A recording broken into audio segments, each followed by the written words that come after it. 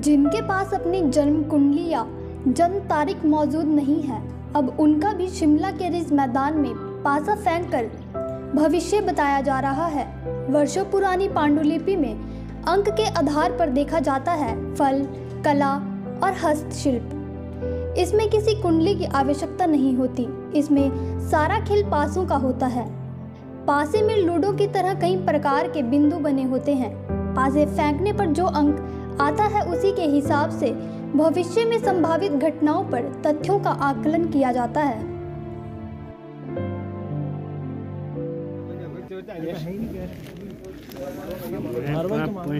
तिरिक तिरिक तो ये तस्वीर आपको दिखा रहे हैं हम शिमला के रिज मैदान की, जहाँ पर कला एवं शिल्प मेले का आयोजन किया गया है और इसमें यहाँ पर आप देख सकते हैं जो पौराणिक ग्रंथ है। कहा यह जाता है कि ये पांडुलिपि इसमें लिखी गई है और ये ग्रंथ आपको भविष्य बताता है कि आप जो काम करना चाह रहे हैं, किसी भी क्षेत्र में या परिवार में कोई आपकी परेशानी है, उसको लेकर आप समाधान चाहते हो। तो वो पासा आपको यहाँ पर इस पर फेंकना है और उसके बाद पासे के जो अंक निकलते हैं उसके अनुसार आपको जो है विधि बताई जाएगी बताया जाएगा कि जो आप काम सोच रहे हैं विचार कर रहे हैं वो आपके लिए ठीक है या नहीं है क्या उसमें आपको करना है? मेरे को देखना देना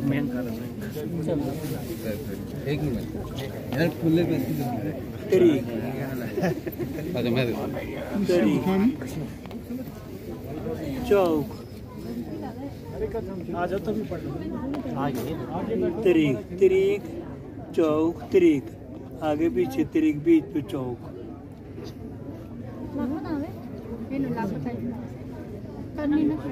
ये तिरिक चौक तिरिक। मधम तुम्हारे तुम्हारे बोहरी बहुत है। तुम्हारे शत्रु बहुत है टांग खींचने वाले बहुत है। किस कारण चिंत बहुत होगी। डरना नहीं। डरना नहीं। जो काम का तुम्हारा विचार विचार है, नहीं बनेगा। इस काम को, इस काम में लाभ भी नहीं है। होगा चिंत।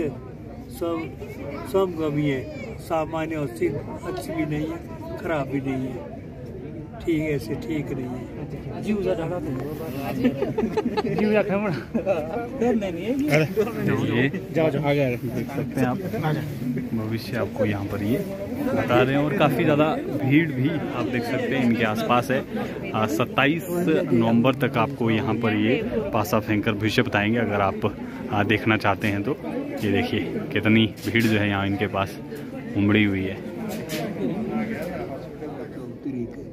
ये अखबार आपके हाथ से ये बताता है, ये काम बुरा है। ये काम बुरा, चिंत होगी, काम बिगड़ेगा नौ ग्रह की पूजा करे, धर्म करना बड़ा लाभ होगा, चिंत बुरी है। ये बताए बेटा आपका, आप किस दाव तिरिक चौक पहले दाव तिरिक चौक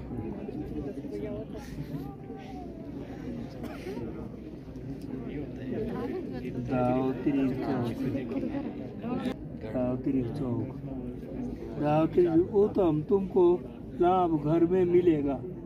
राज दरबार से लाभ मिल। श्री श्री कुल की देवी की पूजा करनी पूजा करनी लाभ होगा। पानी से पानी। चौक। पोक दो चौके मार दिए। तरीक है। दो चौक तरीक है। ठीक आएगा से तो ना होगा। चिंत कुशुभ है। अशुभ है तो शुभ रहिए है ये। बता दीजिए।